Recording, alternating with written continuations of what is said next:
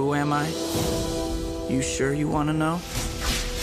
If somebody told you I was just your average, ordinary guy, not a care in the world, somebody lied.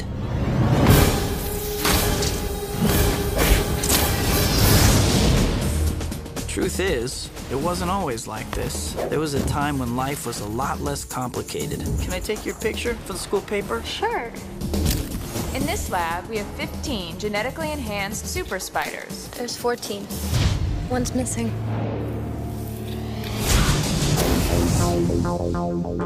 Peter, are you all right? I'm fine. Pete, look, you're changing. I know I went through exactly the same thing at your age.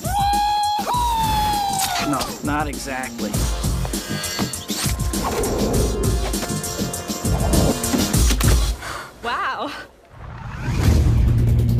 Peter, may I introduce my father, Norman Osborn? Great honor to meet you, sir. Harry tells me you're quite the science whiz.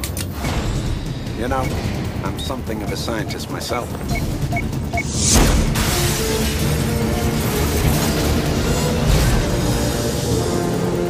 What the hell was that? Whatever it is, somebody has to stop it. With great power comes great responsibility. This is my gift. Wow. It is my curse. Who are you? Who am I? I'm Spider Man.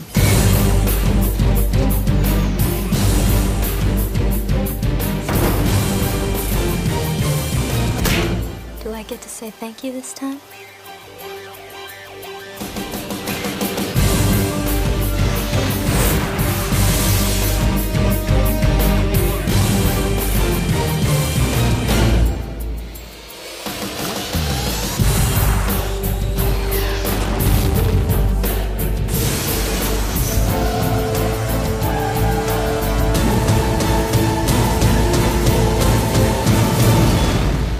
Do too much. You're not Superman, you know.